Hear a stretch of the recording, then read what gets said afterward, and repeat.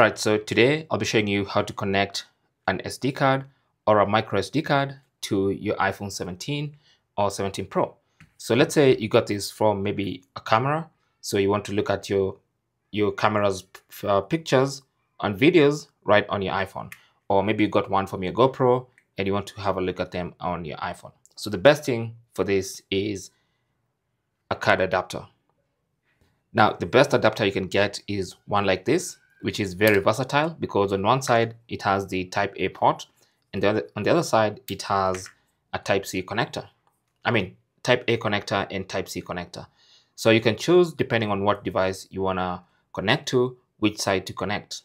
But all of them are the same adapter. So this one takes the full size SD card and the micro SD card. Now I'm to leave this one linked down below. Anyway, so to connect, simply put the micro, or rather the SD card into the SD card reader or the SD card adapter. And once you've put it in there, next thing you want to do is just plug the card reader into the Type-C port of your iPhone via the Type-C connector. It's as simple as that, okay? Now, keep in mind that there's not going to be any pop-up on your screen. To access the files inside the SD card, you want to go to the Files app. So this app right here. So launch the Files app and then go to Browse until you go to the home page and then you should see your SD card as one of the locations. So mine is called Nikon New and these are all the files and folders inside my SD card. I can even go to the camera folder itself and have a look at all the photos and videos inside that SD card.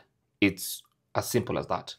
Same goes for the micro SD card. There's a slot on this uh, specific card reader for micro SD as well. So this one right here. So just plug in your micro SD card straight from your GoPro or from your phone or wherever and just just plug it in. Simple as that.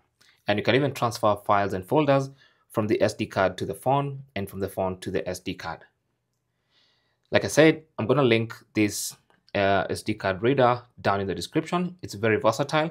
You can even use it to transfer files and folders and photos and videos from your phone to a computer. Even if a computer doesn't have a Type-C port, it should have at least a USB-A port. So you can just connect, you can download movies from your phone and watch them on a computer, on, on a TV. It's, it's very, very versatile. It's the one SD card reader you didn't know you needed. Anyway, thanks for watching and good luck.